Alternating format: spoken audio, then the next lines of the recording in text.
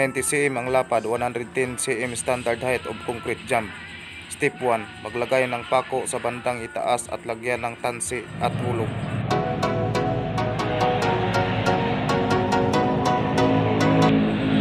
Siguraduhin na nasa hulog yung unang tansi. Kapag nasa hulog na ang unang tansi, ay pwede nyo nang isunod yung sa header. Step 2. Mag-level sa tamang height ng concrete jam na gagawin nyo. Pagkatapos nyong i-level, magkabilaan lagyan ng pako at tansi.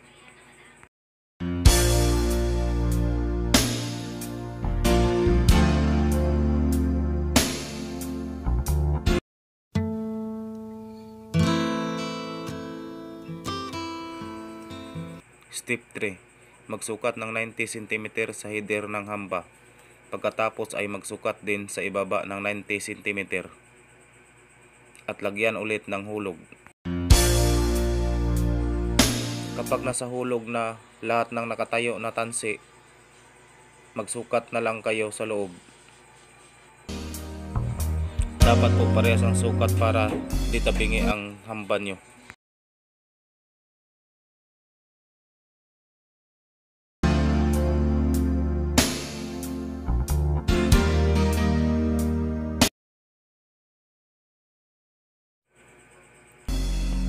Lahat ng tansi dito sa loob ay sinusukat na lang yan.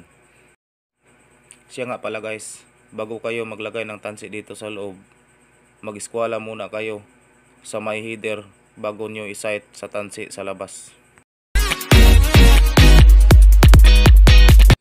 So kapag nalagay nyo na lahat ng tansi sa loob, try nyo isight sa labas.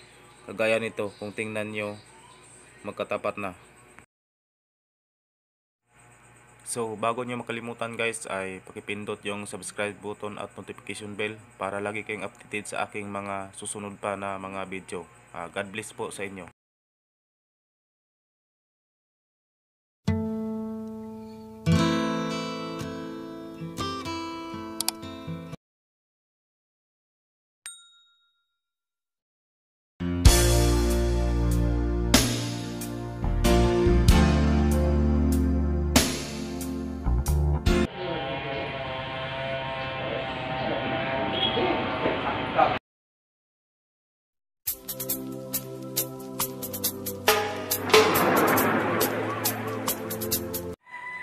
So yan na guys, nag-umpisa na tayo magpalitada.